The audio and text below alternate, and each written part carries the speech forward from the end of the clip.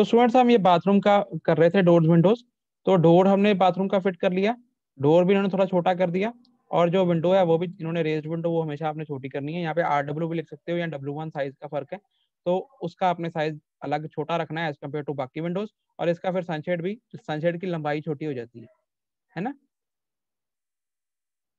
Clear है? ठीक है सर अब उसके बाद हमारा ये कंप्लीट हो गया रूम ये कंप्लीट बाथरूम कंप्लीट हो गया। अब वरांडे में देखो, वरांडे में स्टूडेंट देखो, वरांडे में सबसे पहले तो ये। अब स्टूडेंट सबसे पहले वरांडे में एंटर करने के लिए हमें, अब आपके यहाँ पे अगर क्वेश्चन में गिवन हो, ना गिवन हो, आप कोशिश करना ग्राउंड लेवल और प्लेंथ लेवल के बीच में 400 से 600 का फ़र्क डाल देना। 400 से 600 mm का फ़र्क between ground level and plinth level जैसे आपने उसमें किया था फाउंडेशन में या फ्लोरिंग में करा था, जैसे आप शुरू से करते आ रहे हो, वही कंसेप्ट सेम रखने हैं।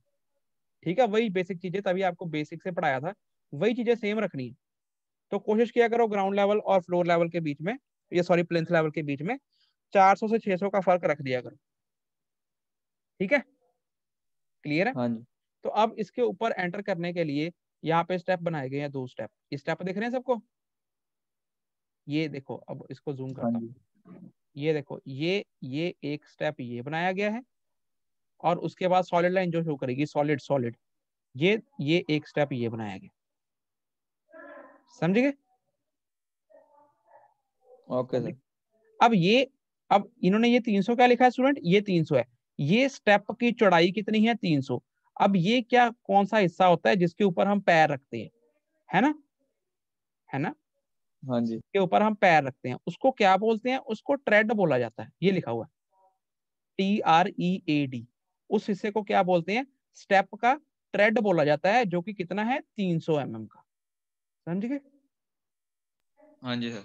ये 300 एम और ये भी 300 एम ठीक है? एक हिस्सा होता है ट्रेड ये जिसके ऊपर हम पैर रख के चढ़ते हैं 300 एम लिखा है।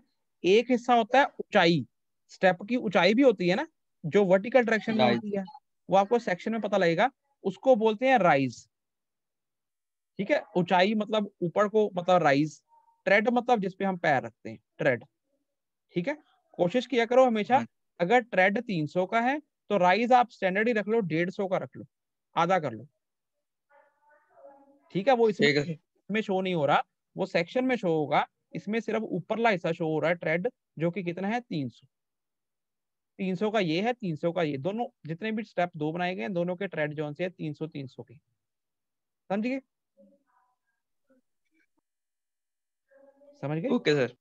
अब अब ये डॉटेड लाइंस कौन सी है स्टूडेंट्स ये डॉटेड लाइन तो आपको पता ही है ये आपकी क्या है? ये आपकी वॉल है जौन सी जौन सी आपकी ओपनिंग के अंदर। अब देखो ये ये ये जो डॉटेड लाइन बनाई गई ये किस चीज़ की लाइन है बताओ मुझे? ये जो डॉटेड लाइन बनाई गई। ये हाँ ये क्या है? ये स्टेप का सनशेड सॉरी बोल रहा हूँ वरांडे का सनशेड क्लियर है? अब एक बात हाँ याद अभी अभी आपको सेक्शन में पता लगेगा वरांडे की हाइट कितनी है? क्लियर थ्री मीटर बाथरूम की हाइट कितनी है? बराबर वरांडे के। थ्री मीटर पीछे कमरे की हाइट कितनी है? थ्री पॉइंट सिक्स ये थ्री पॉइंट सिक्स अब ये ये जो इसका लेवल है ये वरांडे का और बाथरूम का ये नीचे आ जाएगा? रूफ लेवल लगा लो या स्लैब का लेवल लगा लो या टॉप मोस्ट लेवल भी लगा लो। एज कंपेयर टू पिछले रूम के लेवल सेक्शन में पता लगेगा जितनी पिछली रूम की हाइट है उससे नीचे आएगी आगे वाले वरांडे और बाथरूम की हाइट समझ गए? समझ गए? आवाज़ आ रही है? हाँ जी सर। हाँ और जो उसकी ओपनिंग है अब सपोज़ कर लो यहाँ से लेके यहाँ तक की ओपनिंग है अंदर घुसने के एंटर करने के लिए या यहाँ से लेके यहाँ तक की ओपनिंग है। बीच में तो पिलर है उसके बाद यहाँ से लेके यहाँ तक की ओपनिंग है। है ना? एंटर करने के लिए ओपनिंग तो यही है।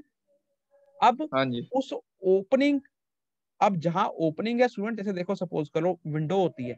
विंडो की जो ओपनिंग का टॉप लेवल होता है उसके अंदर हम लिंटल डाल के बाहर सनशेड निकाल देते हैं। हाँ जी। ऐसे ही इसमें जो इसकी ओपनिंग रहेगी उसके टॉप लेवल पे ऊपर लिंटल या बीम डाल के बाहर सनशेड निकाला गया ये। समझ गए बात को? हाँ जी। हाँ जी। जो सनशेड है स्टूडेंट एक बात याद रखना ये हमेशा बनाना चाहिए आपको। ये जो सनशेड है इसकी चौड़ाई देखो ज़्यादा रखी है 500 रखी हुई है। समझ गए? हाँ। और जो बाकी खिड़कियाँ थी उनकी चौड़ाई मतलब बार को प्रोजेक्शन कितनी आ रही है उनकी कम रखी गई है तीन सौ अस्सी। ये देख लेना आप कि जो सी मेन एंट्रेंस वरांडा या कुछ भी ओपनिंग है उसका सनशेड थोड़ा बड़ा कर लेना बार को और जो पिछले जो कमरे वगैरह हैं उनका एज कंपेयर टू मेन जो हमारा वरांडे का सनशेड है उनका सनशेड छोटा करना है कमरों वालों का। ठीक है?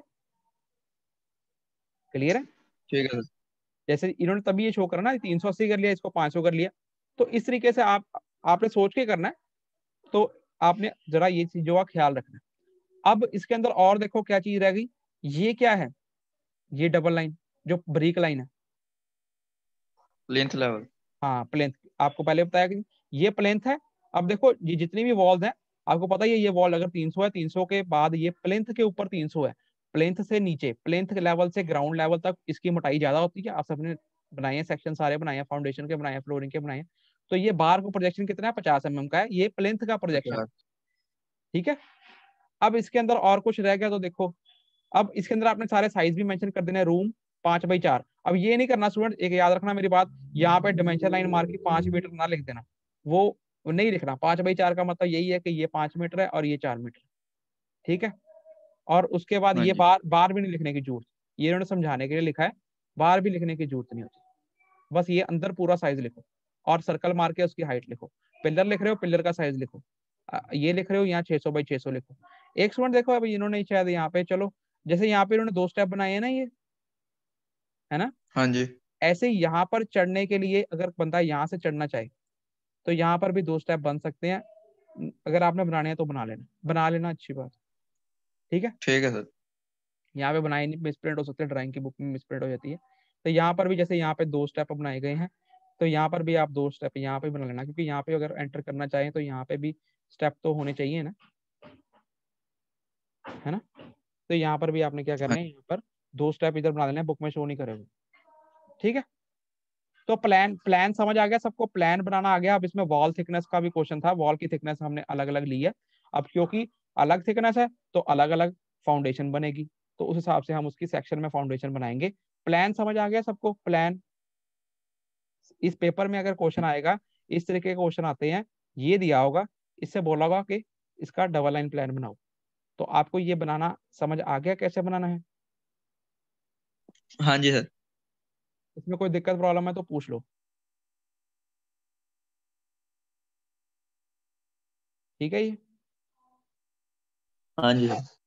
अब अब स्टूडेंट देखो अब इन्होंने क्या किया पेपर अब ये जो क्वेश्चन है इसके अंदर क्या लिखा है? ये एक सेक्शन लाइन दी हुई है सेक्शन ए बी दिख रहा है ठीक है? ये सेक्शन हाँ लाइन कौन सी है हमने? ये शो करी है ये ए बी ठीक है? क्लियर उसके बाद जो नेक्स्ट सेक्शन लाइन दी है वो कौन सी दी है? एक्स पहले यहाँ से लेके यहाँ तक सेक्शन लाइन है फिर ये अंदर हो जाती है फिर यहाँ से लेके यहाँ तक है यहाँ पे एन लिखा हुआ है चलो एक्स एन ठीक है? ये सेक्शन लाइन क्लियर है हाँ जी सर अब ये इस डायग्राम में कहा शो करी है? ये देखो ये रही। एक्स दिख रही सबको ये? एक्स